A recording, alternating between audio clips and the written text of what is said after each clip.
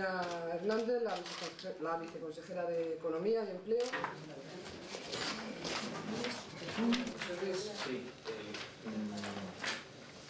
Les doy datos del cuarto trimestre y luego los del año, o sea que como tienen nota de prensa de todas maneras, pues pueden ir, no tienen que tomar muchas, muchas notas porque son muchos datos.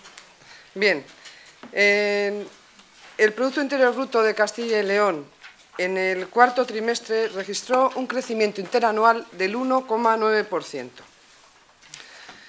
Es una aceleración de la economía, son tres décimas más que en el trimestre anterior. Y la variación intertrimestral pasa también del 0,4 al 0,5% en este periodo, es decir, también se acelera la variación intertrimestral. La variación anual, ya les adelanto, es del 1,4% del Producto Interior Bruto. En cuanto a este cuarto trimestre, eh, tenemos un crecimiento interanual eh, positivo y es eh, parecido al de España, una décima por debajo. Recuerden que el otro día hacía público el INE los datos del cuarto trimestre, la economía española crece el 2%. Y en cuanto al entorno europeo, se registran crecimientos inferiores al de Castilla y León. La zona euro muestra un crecimiento del 0,9% y la Unión Europea de los 28 un crecimiento del 1,3% según datos hechos públicos por Eurostat. En cuanto a los sectores productivos, es decir, cómo está la oferta en nuestros sectores productivos, se ha producido un crecimiento del valor añadido en todos los sectores productivos en términos interanuales, excepto en las ramas agrarias y en las energéticas. El sector primario en Castilla y León muestra una variación interanual negativa del 2,4%. Eh, se produce un descenso en la producción agrícola debido fundamentalmente a, la campaña agrícola que ha habido este año, que ha sido mucho peor que el del año pasado, y, pero también esta caída se compensa con un mejor comportamiento del sector ganadero. En cuanto a la industria, registra un crecimiento del 1,5% que es eh, inferior al del trimestre anterior, que fue de un 3%. Y esto se produce como consecuencia de una desaceleración tanto de las ramas manufactureras como de un descenso de las ramas energéticas. Las ramas energéticas descendieron el 1,1% y esto es consecuencia de la disminución de la producción y distribución de energía eléctrica, de gas y de agua, mientras que las ramas extractivas se redujeron en menor medida que en el tercer trimestre. En cuanto a las ramas manufactureras, presentaron una variación anual del 2,2%, que es inferior a la reflejada en el trimestre anterior, que era del 3,2%. Eh, en la construcción continúa registrando un crecimiento en este trimestre del 1,9%. Se ha acelerado, es superior al crecimiento que se registró en el tercer trimestre, y esto se debe a la aceleración en la actividad de la obra civil, el aumento de la edificación no residencial y el menor ritmo contractivo de la edificación residencial. En cuanto al sector servicios, se acelera en este último trimestre y pasa del 1,5 al 2,2%, como consecuencia del mejor comportamiento de los servicios de mercado. Estos servicios, los de mercado, muestran un incremento del 2,8% en términos interanuales mientras que los servicios no de mercado crecen el 0,5%. Y esto es el análisis que hacemos de este trimestre por el lado de la oferta. En cuanto si analizamos la demanda, tenemos que ha habido un aumento de la aportación de la demanda interna al crecimiento del Producto Interior Bruto hasta alcanzar dos puntos porcentuales. El trimestre anterior eran 0,4 puntos. Y por su parte, el sector exterior resta 0,1 puntos porcentuales al crecimiento del PIB en el último trimestre del 2014. Analizando los componentes de la demanda interna, tenemos por un lado el consumo final y por otro lado la formación bruta de capital. En cuanto al consumo final, se incrementa el 1,8%, más que el trimestre anterior. Y esto es resultado del mayor crecimiento del consumo de los hogares, que crece el 2,9% frente al 1,3% anterior, y el menor descenso del gasto del sector administraciones públicas, que pasa de un menos 2,1, eh, del, 3, del menos 3,1 al menos 2,1. En cuanto a la formación bruta de capital, experimenta una importante subida del 3,5% y se acelera en relación con el trimestre anterior, que solamente crecía al 0,7%. La formación bruta de capital fijo anota un crecimiento del 3,3% en términos interanuales, debido al aumento de la inversión en construcción y a la inversión también en bienes de equipo. La inversión en bienes de equipo se incrementa el 4,7% en términos interanuales y la inversión en construcción también tiene una variación positiva del 1,9%. Y por último, la variación de existencias tiene un efecto neutro en la economía. El otro componente por parte de la demanda, de, la aportación a la demanda es el sector exterior. En este caso se produce una aportación negativa al crecimiento del PIB de 0,1 eh, puntos. Y esto se debe a un descenso de las exportaciones, mientras que las importaciones totales experimentan una moderada desaceleración.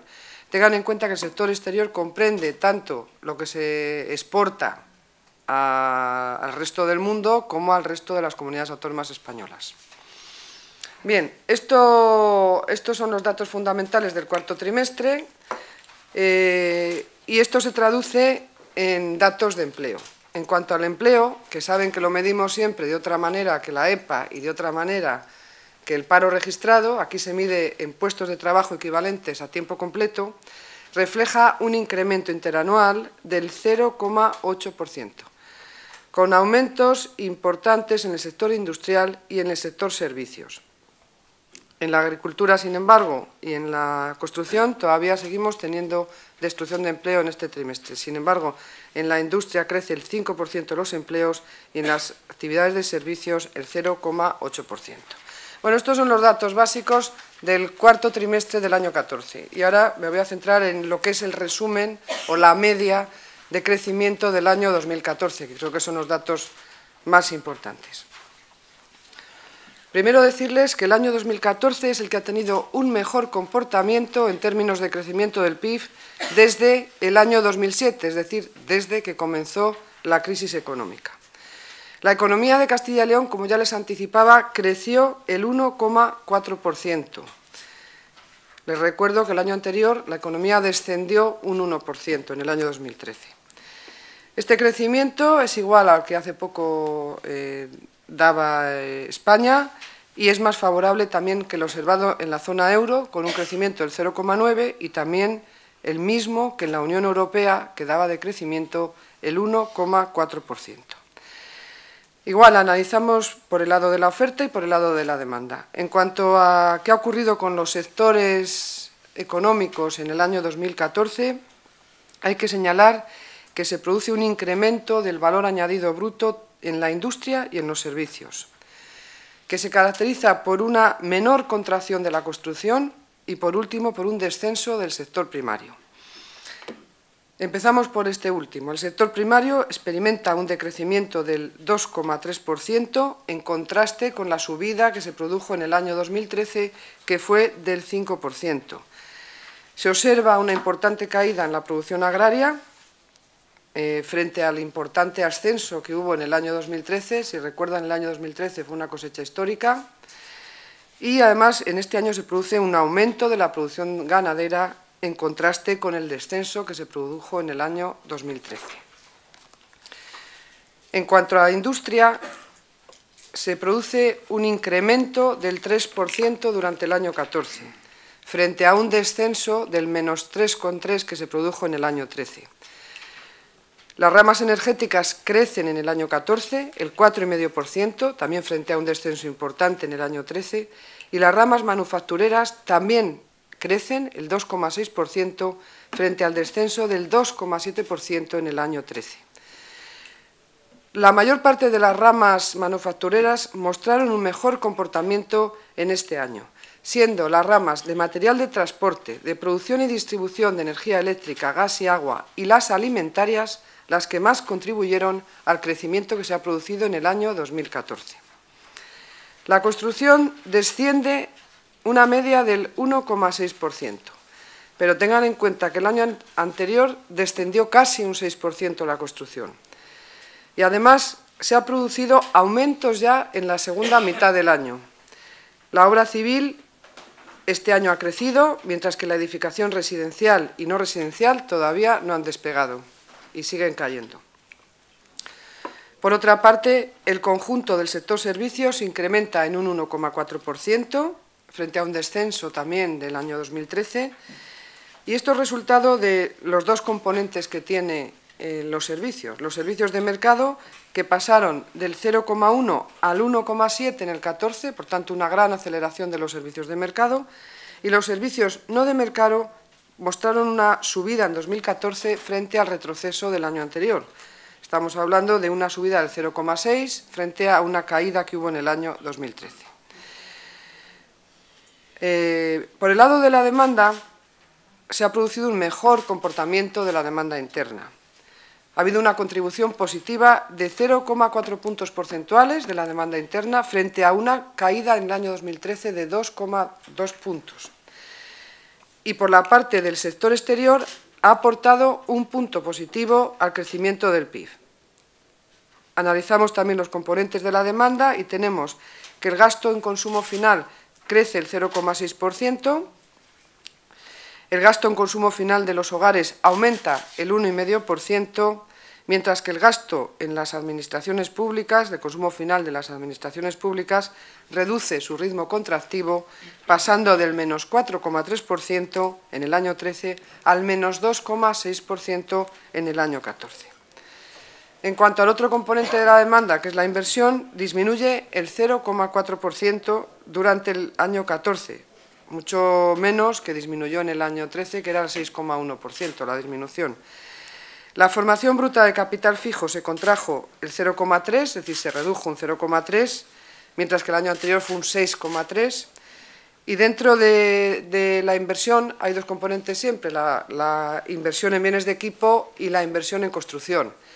Evidentemente, la caída de la inversión se debe a la inversión en construcción. La inversión en bienes de equipo se incrementa el 2,3% en el año 14, mientras que la inversión en construcción disminuye el 2,7%, pero también hay que reconocer que veníamos de una caída del 8,7%. La variación de existencias mantuvo su efecto neutro y por parte del sector exterior se produjo una contribución positiva al crecimiento de un punto porcentual, que es inferior a la aportación del año 13, que fue de 1,2.